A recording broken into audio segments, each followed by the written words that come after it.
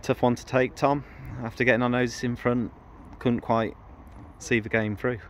Yeah, um, yeah, tough result for us. Um, we, we we were a tired group tonight. Like the the, the the game we've had to play in on on Saturday has has sapped us. Obviously, a few lads that are playing with with knocks tonight, and um, you could just see it in us. Like we had to drag it out of ourselves, and because because we're such an honest group, like the lads gave it so much in the first half, and it was a brilliant first half performance, um, and we deserved to be in front.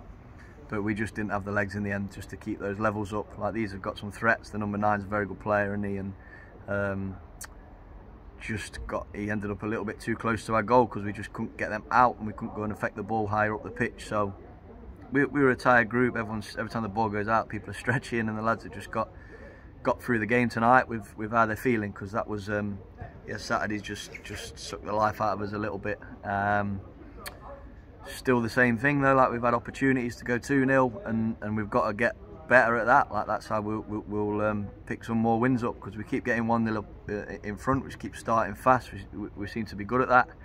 Um, it's those building blocks, isn't it? It's putting the next one on, and fact, a second goal probably would have killed them today. Yeah, and we've, with our home full. We've had the opportunity with the, the header at the back post, and um, we've got. Keeper's made a brilliant save with that one, hasn't he? Yeah, we, then he's saved a free kick from Brad before he's gone off with a knock. Yeah, and that's probably we, we probably emptied the tank in the first 45 minutes, and we just we, we were you could sense something was was coming. Um, I want us to be more dominant in the penalty area, something we've got to get better at, um, and we've got to be like, people have got to want to head the ball rather than have to, um, want to go and dominate stuff. So that's cost us. Um, the goal was a bit of a well, it's just complete bad luck in it. Let's be honest. Like we've tackled, yeah. tack, made a tackle in the middle of the pitch, and it's ended up rolling to their lad who stood in an offside position, and um, just a, just a bit of bad luck for the second goal. But they, they deserve to score. Nantwich and deserve to get something out of the game because they were well on top in the second half. But um, it's yeah, no panic stations. Like with the, the, the, lads, the, the application is is superb, and whilst that stays at that level, we'll we'll pick plenty of points up in the next 17 games, and um, we've got to just be a team now that we've got what we've got those 17 opportunities to, to win three points. Make sure we're content at full time every week that we that we give our lot with our commitment and concentration um, and then whatever the result may be at that point we skip on to the next game and, and, and be ready for that and um, yeah we, we, will take keep learning as, as we go along. Um, we, we, we uh, I think we deserve to lose that football match but you could see that we were we were a tired football team after what we went through on Saturday. So um, we just got to get everybody, as many people at the best level of fitness we possibly can for a, a, a game at, at, home against a, a talented Basford side. But we know what we're capable of on our home patch.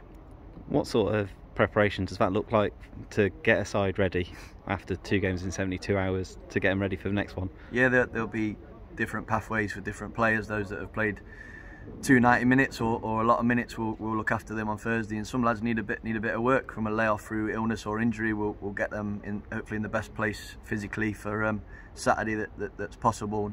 Um, yeah we, we, that'll sting a bit. Like you can see the dressing room stings that one uh, team that's below us and, and, and, trying to chase us and drag us into the stuff and, and they beat us 2-1 so we won't ignore the fact that we've lost tonight, but we, we will make sure come Thursday night when we're back together that we're, that we're, we're preparing for the next one and, and um, trying to get ourselves in the best place possible.